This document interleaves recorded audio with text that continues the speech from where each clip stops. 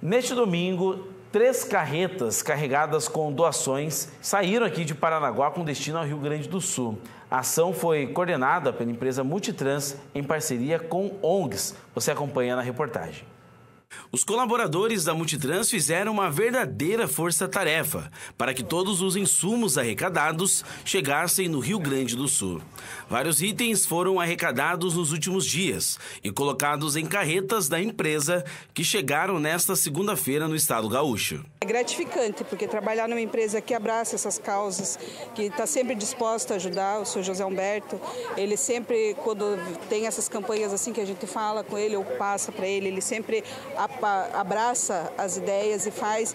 Fizemos essa campanha, ele disponibilizou os caminhões da frota, pediu para que a gente entrasse em contato para ver o que precisava. A gente fez a campanha, aqui está as doações, muita coisa, muita gente ajudando e isso é gratificante. Na manhã deste sábado o trabalho foi intenso aqui na sede da Multitrans, na Serraria do Rocha.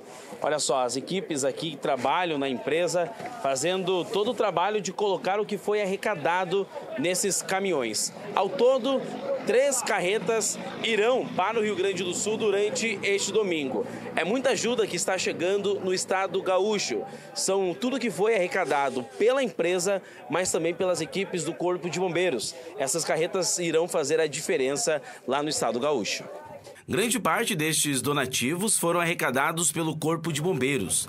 Durante a semana, a corporação solicitou ajuda para disponibilização de caminhões. Ontem foi carregado, um dos caminhões foi carregado lá no Corpo de Bombeiros lotado, tudo que pôde ser colocado lá foi. E quem quiser pode continuar doando, que assim que tiver mais equipamento, mais produtos, a gente vai estar enviando lá também. Ele falou assim que conforme for chegando e enchendo os caminhões, pode estar enviando. Essa campanha também recebe as atenções e ajuda da ONG Focinhos Carentes, que arrecadaram sacos de ração. Nós ficamos muito emocionados, porque a gente não esperava tamanha repercussão das pessoas serem tão solidárias. A gente sabe que saiu bastante caminhão daqui, mas que nesse final de semana agora, que foi muito rápido, a gente conseguiu um número recorde de doações. Então isso faz que nós e todos os voluntários, né, os participantes, a gente se emocione, porque o nosso objetivo maior é também os animais. Né? A gente está levando donativos para os humanos, mas os animais são os nosso, o nosso foco lá no Rio Grande do Sul. Uma parte dos voluntários da ONG estão a caminho do Rio Grande do Sul para ajudar no resgate de animais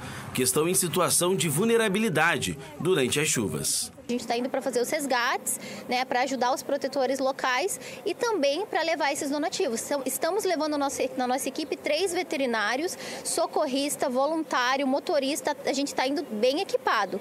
Tá? E vai ficar uma equipe aqui em Paranaguá dando o suporte para a gente, uma equipe da ONG dando suporte para a gente também, que vai estar lá no Rio Grande, passando as atualizações aqui para o pessoal, né? E vai ser um trabalho muito lindo. Os últimos dias foram marcados pela solidariedade do povo brasileiro. Ajuda ao estado do Rio Grande do Sul está chegando dos quatro cantos do país. E o Parnanguara, ah, o Parnanguara se mostrou mais uma vez ser um povo solidário. A gente conseguiu bastante donativos, a gente vai levar um caminhão é, lotado, né, nessa, nessa junção de esforços que foi Focinhos Carentes né, e, e Multitrans. Então, recebemos bastante donativos, a população de Paranaguá é muito generosa, a gente conseguiu é, é, muitos esforços, né, muitas, muitas doações do pessoal, então foi uma ideia muito bacana do Focinhos Carentes, nós estamos também indo lá para resgatar animais, né, para render as equipes que já estão exaustas lá né, nessas buscas, nesses resgates, então a gente está indo lá também para auxiliar nos resgates dos animais.